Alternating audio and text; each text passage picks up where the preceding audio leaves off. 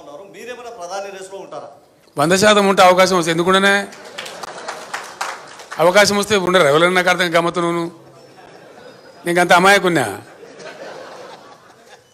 Sir. అవకాశం రావాలనే కానీ ఎందుకుండవు నాకు అర్థం కాదు. I will be in the race మా సురేష్ బాయ్ సాబ్ నవ్వుతున్నాడు. ఆయనే రేపు కేశవరావు వెళ్ళిపోయింది కాబట్టి రేపు మా parliamentary party leader Suresh Reddy గారు కాబోతారు. రేపు నేను లెటర్ ఇష్యూ చేస్తా ఉన్నా చైర్మన్కు. He will be the main player in Delhi on behalf of BRS sir sir sir sir ఇక్కడ ఇక్కడ. సార్ ప్రధానంగా sir sir vote- vote right side sir sir మళ్ళీ వాడేమైనా నా మీద నిషేధం పెట్టగలడా? టైం ఎంత అయింది? కేసీఆర్ సార్ ఉన్నా ప్రధానంగా బీఆర్ఎస్ పార్టీ నుంచి వీడి వెళ్తున్నటువంటి నేతలు ఎవరైతే ఉన్నారో పార్టీ పైన ఆరోపణలు చేస్తూ పోతున్నారు. పార్టీలో చాలా మంది షిండేలు ఉన్నారని మాటను మాట్లాడినారు. ఒక క్వశ్చన్ నెక్స్ట్ ఇంకో క్వశ్చన్ సార్ అసెంబ్లీ ఫలితాలు చూసుకుంటే ఇందాక మీరు కొన్ని ప్రిడిక్షన్స్ చెప్పారు.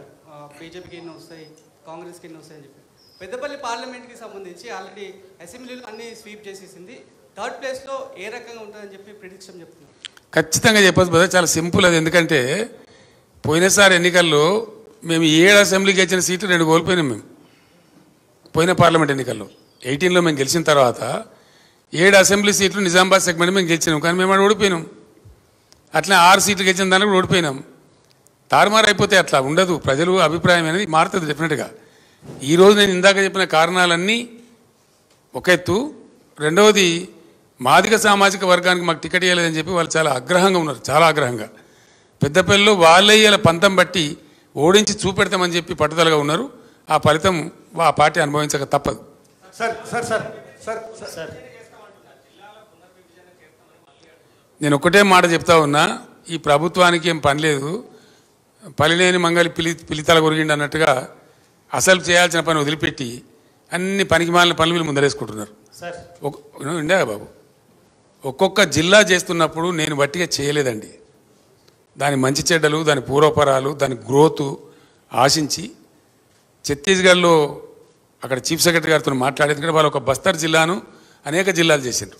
ఎట్లా చేయాలని అడిగినప్పుడు భూపాలపల్లి జిల్లా ఏర్పాటు చేసిన ములుగు ఏర్పాటు చేసిన ఇంకా కొన్ని జిల్లాలు ఏర్పాటు చేసిన వాటి భౌగోళిక పరిస్థితులను బట్టి అవి గ్రోత్ కారిడార్లుగా మారాలని చెప్పి అక్కడ లైట్ రావాలి అడ్మినిస్ట్రేషన్ పోవాలి అక్కడ కలెక్టర్ ఉండాలి ఎస్పీ ఉండాలి ఉంటేనే బాగా జరుగుద్దని గతంలో కలోలిత ప్రాంతాలుగా ప్రకటించిన సిరిసిల్ల జగిత్యాల కావచ్చు భూపాలపల్లి ములుగు కావచ్చు స్టేట్ బార్డర్లో ఉండేటువంటి గద్వాల జిల్లా లాంటివి కావచ్చు చాలా ఆలోచనతో తెలంగాణ యొక్క ప్రగతిని ఆశించి చేసిన జిల్లాలు అవి.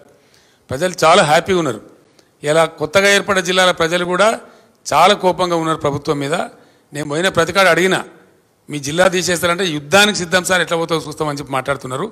పార్లమెంట్ ఎన్నికల్లో ఈ కొత్త ఏవైతే జిల్లాలు తీసేస్తామని కాంగ్రెస్ చెప్పిందో ఆ దెబ్బ కూడా ఇప్పుడు కాంగ్రెస్ పడబోతా ఉంది. Sir sir sir sir sir ఇక్కడ సార్ నరేందర్ సార్ ఇక్కడ. సార్ ఉద్యమ సమయంలో సార్. సార్ ఇక్కడ ఇక్కడ sir.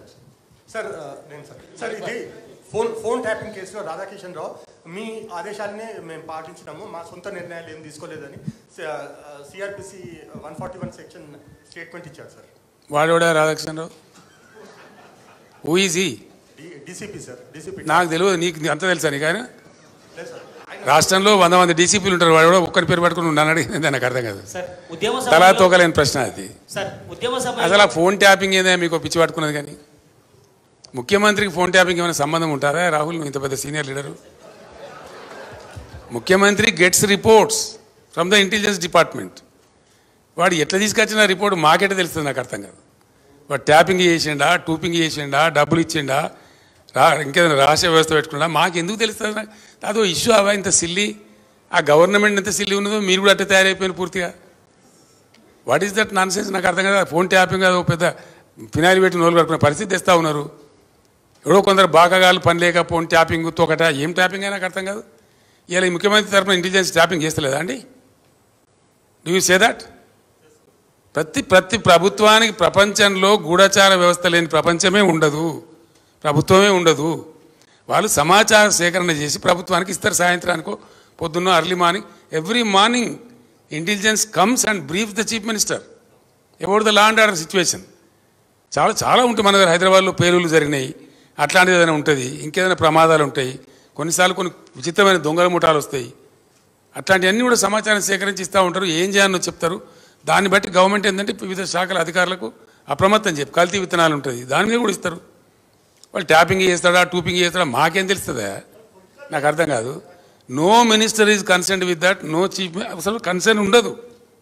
We are only concern with the reports given by the intelligence the way they brought the report we don't know that is purely internal matter of the police department and ఇంకో ఇంకోటి అండి ఇంకోటి అండి. అదేదో మీరు పెద్ద భ్రమలో ఉన్నారు.